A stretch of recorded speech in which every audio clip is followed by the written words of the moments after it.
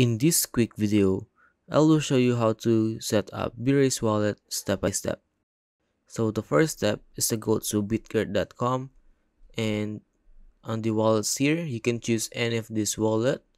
For example, we are going to choose Trust Wallet.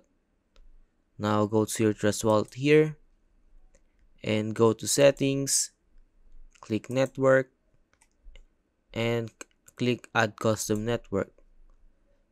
Now you will gonna need to fill up all this information.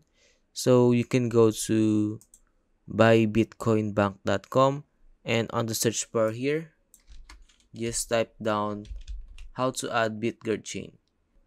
And you will just need to copy all this information and paste it on here.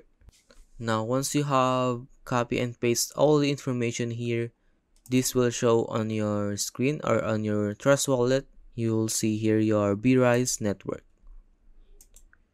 And if you have any questions about how to set up BRISE wallet leave a comment below